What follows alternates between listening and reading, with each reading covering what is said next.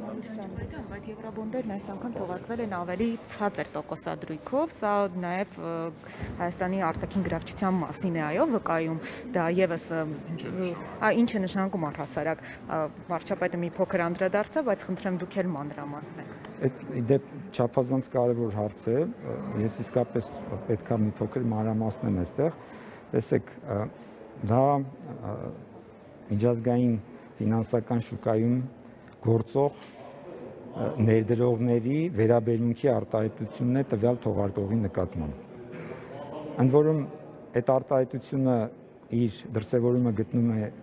գործող նաև պարտքի գնանշումների եւ այդ պարտքի առևտրի մեջ ինչ է դա նշանակում եթե նույնիսկ մենք այսօր այդ թողարկումը չունենայինք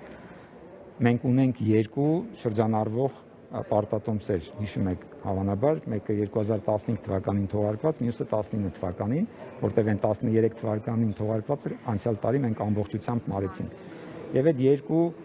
շրջանառության մեջ գտնվող պարտատոմսերը յուրաքանչյուր օր, քանի որ իրենք ուղենիշային ծավալ եւ դրանից ավել են, 500 միլիոն դոլարը համարվում է այն չափը,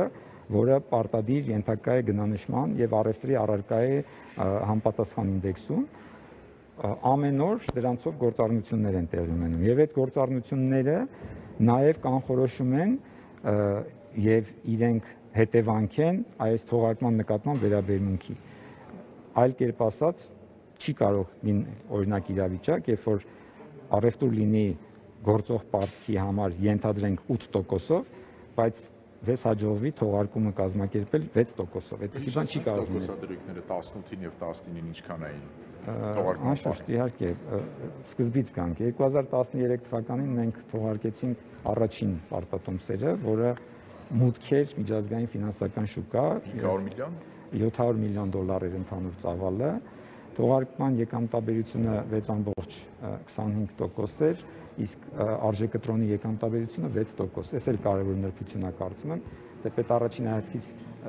թվում է թե շփոթություն առաջացնող են 2% ադրույքների արկայությունը, բայց մեկը վերաբերում է կոնկրետ թողարկման պահին այն եկամտաբերությանը, որով ըստ էության թողարկողը վճարում է իր ունեցած ռիսկի համար ներդրողներին։ Իսկ այս եկամտաբերությունը, որը արժեկտրոնային է, այնա, որը օգտագործվում է ամեն տարի այդ պարտքի ամբողջ գոյության ընթացքում իր տոկոսը վճարելու համար։ Միջինացված թիվն է։ Այսինքն դա այն տոկոսն է, որը հաջորդ տարվա բյուջեում մենք պետք է նախատեսենք այդ պարտքը սպասարկելու համար եւ պետք է վճարենք դրա համար։ 2015 թվականին մենք ունեցել ենք 7.5% թողարկման եկամտաբերություն եւ 7.15% արժեկտրոնային եկամտաբերություն, ելի 10 տարի մարման ժամկետով թողարկվող արդեն 500 միլիոն դոլարի ես վերջացնեմ դուք եք հարցնել բան պայման։ Այդ 500 միլիոն դոլարի թողարկման համար, ընդ որում 200 միլիոնը օգտագործվեց հավանաբար ձեր մոտ դա է տպավորվել 13 թվականին թողարկված ներողություն, սա 2019-ին էր արդեն շփոթեցի։